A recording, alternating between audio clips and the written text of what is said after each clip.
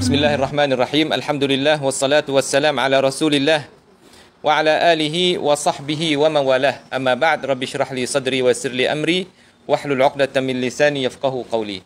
Salman Al-Farisi radhiyallahu anhu, seorang sahabat Nabi. Dia cerita mengenai dengan diri dia. Dia kata dia ni seorang daripada orang negeri Farsi. Farsi ni ke Iran kat nulah. Daripada satu kampung nama dia G, kampung G, ke Jai gitulah. Lepas tu ayah dia ni, ayah Salman saat ni ni orang yang ada nama di dalam masyarakat dia, orang yang kaya, orang yang harta banyak, orang yang orang ambil wakil dengan dia. Lepas tu ayah dia ni saya benar ke dia. Siapa kadang-kadang kurung dia dalam rumah. Saya berdoa. Takut tubik orang lain khenak ke, takut tubik uh, kena buat nyanyi demo ke. Yang maknanya jaga sungguh anak dia Salman ni. Siapa kadang-kadang kurung dalam rumah, tak sewi tubik. Salman Al-Farisi ni, dia beragama dengan agama Majusi. Agama Majusi ni iaitu agama menyembah api, semua api. Dan dia ni, Salman Al-Farisi saat ni itu bukan orang biasa tak dalam agama Farisi ni. Bahkan dia lah orang juru periduk api. Ha, mana orang periduk api ni, orang jenis ha, tak email lah kita kata dah. Ha, jenis tak email dalam agama dia tu lah. Dalam agama Majusi. Satu ketika, dia kata ayah dia tu duk jaga, dia ada kebun. Kebun luah. Satu ketika tu, ayah dia tak ada nak pergi di kebun tu. Lepas tu dia suruh Salman tu pergi cara kebun dia hari ni pergi jiruh ke, pergi kutik buah-buah hak masak ke. Itulah. So, pergi cara kebun. Salmanul Farisi pun tubik daripada rumah dia pergi adak pergi ke kebun hak ayah dia suruh jaga saat ni. Buat dia nak pergi kebun tu, dia lalu di sebuah tempat iaitu gereja Fort Christian. Gereja Fort Christian, dia duk buat ibadat, duk semaya di dalam gereja tu. Dia pun tengok, tengok perhati. Dia tak biasa, tak biasa dengar mana. Sebab dia tak tubik mana rumah. Ayah dia kurung acak. Jadi acap dak ayah dia siapa dia tak kenal mana gereja ke apa dia tak. Satu hari tu dia nak pergi kebun ayah dia ni, dia nampak gereja tu, dia pun tengok tengok. Nampak demo tu buat ibadat, duk semaya dalam Kristian dia lah. Dia tengok tu dia berasa tertarik dengan ibadat Fok Kristian duk buat ibadat ni. Rasa suka, rasa hak dia ni tak kena. Hak ni aku rasa lebih kena lagi daripada Majusi. Dia berasa agama Kristian ni lebih betul dan lebih kena daripada agama hak ia duk beragama iaitu agama Majusi. Dan masa tu tu Nabi Muhammad tak bangkit jadi nabi lagi. Ha tu. Dia pun duk galik situ. Duk galik tak ada pergi dak kebun tu. Tak ada pergi jaga dak kebun, duk galik duk tengok tu, duk tengok tu rasa tertarik, rasa kena, rasa apa tu. Akhir sekali ayah dia pun kelik rumah, tengok Salman tak ada lagi. Gimana ni? Kerana tak kelik lagi. Dia pun hantar budak dia pergi tengok. Pergi jumpa dengan Salman Farisi, duduk di gereja tu suruh kelik. Kelik, dia pun kelik. Salman Farisi kelik. Ayah dia bertanya, mungkin mana tak ni pergi dak kebun? Dia tak ada pergi ayah. Pas mungkin mana? Boleh lama klik ni. Dia kata saya berhenti jumpa dengan gereja Fort Kristian duk duk Fort Nasara tu duk menyembah duk semaya tu. Saya berasa tertarik dengan ibadat mereka itu. Dan saya berasa ayah, hak kita ni tak kena. Rasa hak demo tu lebih kena lagi. Ha, ayah kata siap lah anakku ni. Dia kata, uh, dia kata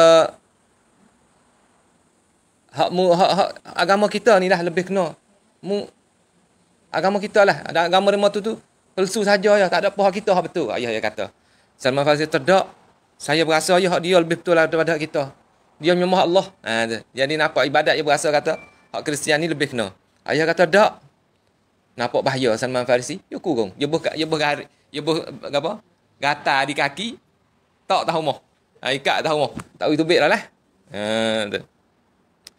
Lepas tu, belum belum pada dia klik rumah tadi tu, dia tanya dah orang Kristian, orang dalam gereja tu.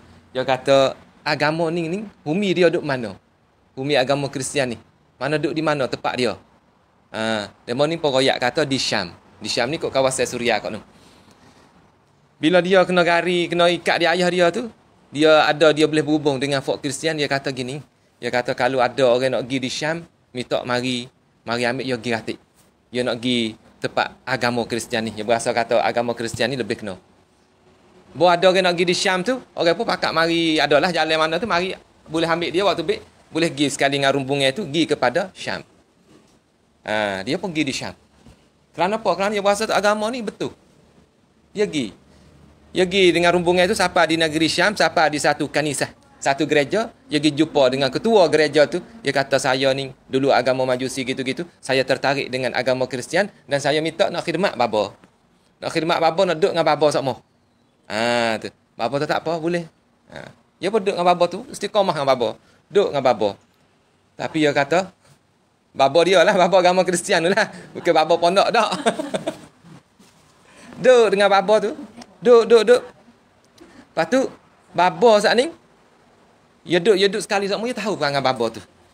Ha, dia dapat ti baba, ya kenal trik ni, weh. Baba kanisah saat ni, baba gereja saat ni tu, di Syam saat ni tu. Tak molek mana? Kerana boleh tak molek? Dia suruh orang sedekah. Dia suruh orang bantu orang miskin. Orang pun pakat wari duit dia. Dia hipung duit tu, dia tak ada bagi ke orang miskin. Dia hipung duit tu, siapa boleh tujuh payah. Duduk taruh, taruh, taruh sampai tujuh payah. Duk sampai dia mati. Baba saat ni.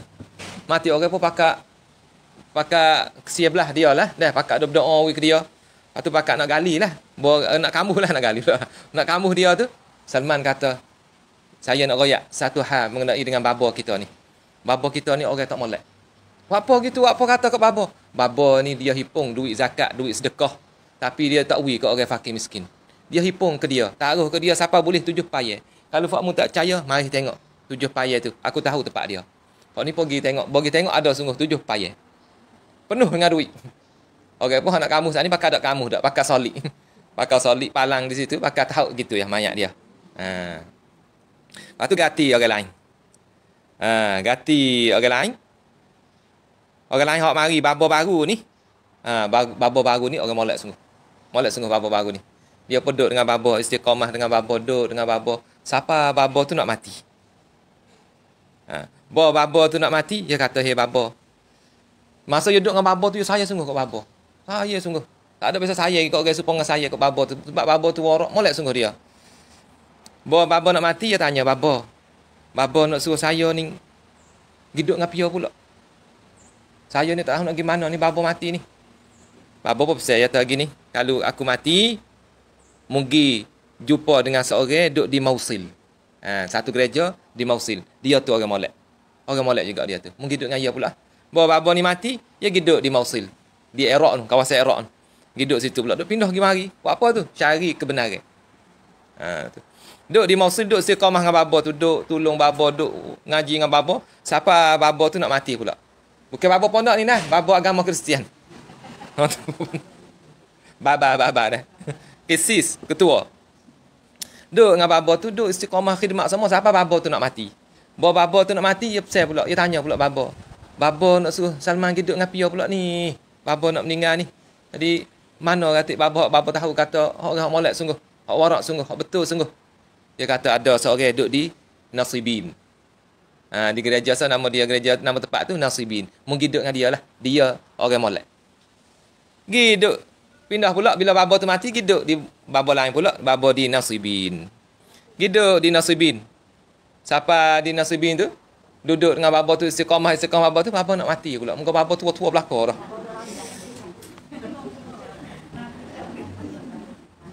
Apa orang dah mati tu mati-mati dah. Ya babo tua-tua aja. Ha. Nasibin kawasan Iraq juga rasa tapi tak cerak kat tu. Akhir sekali lagi di negeri uh, Baba Nasibi tu besar suruh pergi di satu tempat nama dia Amuriyah. Ha, pergi pindah pula kepada negeri lain pula. Siapa pergi duduk dengan baba di Amuriyah? Duduk dengan baba tu istiqamah, istiqamah dengan baba tu. Tak lama baba tu nak mati pula dah. Dia kata, hei baba. Ba baba yang dah pergi lepas ni tu, molek belakang, molek belakang, molek belakang. Jadi, ikhlas belakang, jujur belakang, comel belakang. Dah. Ha, bila baba Amuriyah nak mati, dia pun pesan. Hei baba, nak suruh Salman duduk dengan Pia pula ni. Baba nak mati ni. Ha. Baba tu kata, "Hei, tak ada dah. Tak ada dah orang hak molek dalam agama Kristian ni habis dah. Mati saya ni habis dah lah. Mana orang hak, hak betul sungguh dalam agama Kristian ni tak ada dah. Ha, habis dah. Tapi tak usah saya kata. Ni masa ni ni tak lama ni seorang nabi akan bangkit jadi nabi dan dia akan hijrah mari ke satu tempat yang penuh dengan pokok-pokok taman. Ah ha, tu. Dia pun negeri mana penuh dengan pokok tamar? Madinah ha, dah. Ha, Madinah. Masa dia duduk dengan bapa di Amuriah tu, dia duduk nego sikit sebanyak duduk pega kambing, pega lembu, sehingga dia boleh hipung beberapa ekor lembu, beberapa ekor kambing. Mati bapa Amuriah tu. Bila mati bapa di Amuriah tu, dia pesan kepada orang, kalau ada orang nak pergi ke noh Ardul Hijaz, ke negeri Mekah Madinah tu, royak kata dia nak pergi. Ha. Maka mari satu rumbungnya nak klik pergi kepada pergi kepada Mekah Madinah. Ha, satu rumbungnya. Dia pun pergi jumpa dengan rumbungnya itu dia kata minta fakmu ni bawa aku ni pergi sampai Madinah. Lepas tu lembu kambing aku ni ambil kamu sebagai tamir. Sebagai bantu fakmu. Nah, jadi aku sampai di Madinah. Dia jong habis harta dia. Habis semua asal temu benar betul. Benar-benar. Ketua dia saat ni dia besar. Ha, babuh terakhir sekali. Dia kata seorang Nabi akan bakit jadi Nabi. Lepas tu dia ada tanda-tanda kata dia tu jadi Nabi dah. Satu dia hijrah ke, ke satu tempat yang penuh dengan pokok tamar. Lepas tu dia ni ni tak makan sedekah. Sedekah dia tak makan. Tapi kalau hadiah, dia makan. Lepas tu di atas belakang dia, di antara dua bahu dia, ada tanda kenabian. Ada stokor daging dah, besar telur burung ada dah. Demo. Ulama duk, duk, duk royak tu besar telur burung di atas. Di antara dua bahu dia ni. Ni tanda kata dia tu Nabi. Ha, tu. Salmanul Farisi saat ni, ha, bila ada orang nak pergi di Madinah tu, dia pun royak kepada rumbungnya tu tu, dia nak pergi ratik, lepas tu tamir dia ni, ambil lah lembu kambing dia tu. Demo tu pun terima. Terima bawa pergi dia, siapa di satu tempat, Wadil Qura. Siapa di Wadil Qura ni, mana tak siapa pergi Madinah. Uh, boleh dibira-bira ke mana. Tu tengok, oh banyak pokok tamar di sini. Uh. Siapa di situ? Pak dia ni, pak rumbungnya saat ni tu, jual Salmanul Farisi. Ambil jual ke orang. Oh, ambil, ambil harta dia, lepas tu dia ni jual kat orang. Jadi hamba orang lah. Maka orang Yahudi seorang beli dia. Beli dia. Duk lama tu, orang Yahudi ni juga jual kepada orang Yahudi seorang lagi daripada Bani Quraizah. Ha, dekat sama tu, dekat lagi dekat, dekat Madinah dah. Ha, dia pergi lah ni, dia kerja dengan seorang Yahudi daripada Bani Quraizah. Lepas tu, dia duk kerja dengan Yahudi Bani Quraizah dia kerja ambil watama apa gitu. Satu hari itu dia tengah duk ada ambil watama, duk tak pokok tamar. Mari seorang orang Yahudi mari jumpa dengan dengan tuan dia. Mari kecek ke apa? Seorang tu kata, "Oh, tak jadi Fak Bani Qailah ni. Fak Bani Qailah ni tak pakar." Kano? Dia tu tanya, tuan tu kano tak pakar Fak Bani Qailah? Ya tu Fak ni percaya kepada seorang nabi. Mari duduk di Kubat. Lah ni nabi tu siapa di Kubat dah. Ha, Fak ya ni Fak Bani Qailah ni tak tipu awak ni pakat percaya kepada kepada seorang tu ngaku kata dia nabi. Bos Salman Farisi dia nanti tu dah nanti nak jumpa dengan nabi dah. Dia dengar kata nabi mari dah ni nak nak jatuh pertama ni. Belum nak jatuh. Bona jatuh dia turun mari, dia turun mari dia kata, "Gapo mu royak sat ni?" Dia tanya demo tu tu, tetamu tuan dia tu. Ya hamba. Salman Farisi jadi hamba. Jadi tak boleh nak mana-mana mari duk gaduh dengan tua dia duk kecek ni. Boya tanya gitu tu, tua dia tak apa dia. Ping. Apa Salman Farisi? Apa mu duk gaduh orang ni? Mu kerja tu. Uh, dak ya tahu nak tahu. Gapo ya royak sat ni. Jadi dia dengar lah kata Nabi mari. Nabi duk berhenti di Kubat. Ha. Bawa siapa waktu malam, dia tu pergi. Salman Farisi tu pergi bawa utama. Bawa utama pergi jumpa dengan Nabi. Dia kata, hei, hei, Nabi. Dia kata, saya dengar kata, kamu ni jadi nabi mari daripada Mekah gapo tu. Boleh hadir mu susah tak ada makan ni gapo ambil wataman ni sebagai sedekah kepadamu wahai Nabi Muhammad. Ha ya wis sedekah. Nabi Muhammad pun ambil. Ambil dia tak makan dia beri kepada sahabat-sahabat dia. Ha makan makan makan. Oh dia pun makan ha, dia tu boleh rasa ha dia tak makan sungguh sedekah. Dia dah carilah nak tengok esoknya mari pula malam esok saat mari pula malam esok dia kata eh hey Muhammad saya nampak mu ni tak makan sedekah. Kalau itu saya bukan sedekah, saya hadiah. Hadiah. Hadiah wataman ni kepada kamu dan sahabat-sahabat. Nabi ambil, Nabi makan. Nabi makan, Nabi pergi kepada sahabat-sahabat dia pakai makan belakang. Ha, itu ni dua. Dua dah. Tanda kata dia Nabi. So lagi, stokor daging atas belakang dia tu. Khatamun nubuah. Tanda kata dia ni penyudah uh, Nabi-Nabi. Hari itu dia mari. Nabi duduk uh, duduk ke bumi seorang yang mati. Seorang sahabat mati, Nabi duduk, duduk bumi dia. Dia pun duduk pergi pitah Nabi, pergi kot belakang Nabi, pergi nak, nak, nak, tengok kau tu tu. Tanda kenabian dia tu. Tengok kau tu, tengok kau ni, tengok kau tu, tengok kau ni, tak nampak. Akhir sekali, Nabi tahu. Kata Salman ni, duduk nak tengok khatamun nubuah atas belakang dia. Nabi pun selak. Nabi pun akad, Nabi yang nampak. Bawa dia nampak tu, dia pergi mari dekat Nabi. Dekat Nabi teriak, oh teriak, teriak, teriak. Oh aku percaya dah kata mu ni Nabi, aku nak duduk dengan mu semua apa gitulah. Ha, jadi, dia nampak Nabi, dia tahu kata Nabi Muhammad tu Nabi, dia pun pergi kucuk Nabi Muhammad ke apa, berimej dengan Nabi Muhammad. Nabi Muhammad pun tanya dia, apa cerita mu lagu mana? Cuba, dia poyak cerita dia, duk mana, duk gimana, gimana, gimana, siapa? Jumpa dengan Nabi Muhammad SAW. Maka dia pun berimej dengan Nabi Muhammad. Tapi dia masih lagi jadi hamba. Jadi hamba orang lagi.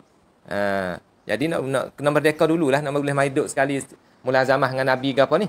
Ha, jadi dia tak ada nak pergi sekali dengan Nabi. Peperangan badar dia tak ada peperangan Uhud dia tak ada juga sebab dia masih duk jadi hamba orang. Lepas pada tu Nabi usaha supaya merdekakan Salmanul Farisi. Akhir sekali Salman Farisi jadi bebas. Uh, tak jadi hamba orang, mari duduk sekali dengan Nabi Muhammad sallallahu alaihi wasallam sehingga satu ketika tu berlaku peperangan yang sangat besar iaitu peperangan Khandaq, peperangan Ahzab. Siapa satu surah turun turun di dalam Al-Quran, nama dia Suratul Ahzab. Peperangan Al-Ahzab yang mana orang Mekah Uh, beberapa ribu orang di Mekah tu pakat nak serai Nabi, dia pakat dengan fok Yahudi-Yahudi di Madinah untuk menyerang Nabi. Jadi kalau orang Islam nak lawan, orang kafir semua tu, kalau kira ngapala tak tak boleh nak lawan lah sebab bilangnya tu, orang kafir tu ber, berapa puluh kali ganda dengan orang Islam. Dengan penuh, uh, dengan harta-harta, dengan dengan apa alat senjata yang cukup lekat. Nak mari serai Rasulullah dan sahabat-sahabat. Maka Salmanul Farisi ni lah yang waktu baik pendapat suruh gali parit. Ha, sebab dia biasa di dalam agama majusi masa dia duduk di Iran dulu bila kena serai apa tu dia ada cara gali gali parit apa. Maka sahabat bersama dengan Nabi sallallahu alaihi wasallam gali parit sepanjang setengah kata tujuh kilo parit. Tak ada kata gebal masa tu. Eh kata gebal pula. Kata nyodok tak ada. Kata ngorek alat ger ger ger tak ada deh. Gali dengan alat gitu-gitu ya. Pas parit tu dalam tiga meter luah tu luah jugalah lepas tu tujuh kilo Oh, gali. Salman Farisi inilah yang waktu baik pendapat gali parit tu. Lepas tu dia uh, dia ada dengan Abu Bakar uh, dengan Umar dia mesti kalau tak silap di masa khilafah Uthman Ibn Affan tahun 33 Hijriah. Ha tu. Ini atas seorang yang cari kebenaran. Akhir sekali dia jumpa. Dah jumpa dan dia bersama dengan Nabi. Dan Allah Subhanahu taala royak di dalam Al-Quran, "Walladzina jahadu fina lanahdiyannahum subulana." Siapa yang usaha cari jalan kebenaran bersungguh-sungguh Allah Subhanahu Wa taala akan tunjuk jalan kebenaran. Wallahu taala alam. Wa sallallahu ala nabiyyina Muhammad wa ala alihi wa sahbihi wa sallam. Subhanakallahumma wa bihamdik ashhadu an la ilaha illa ant astaghfiruk wa atubu ilaik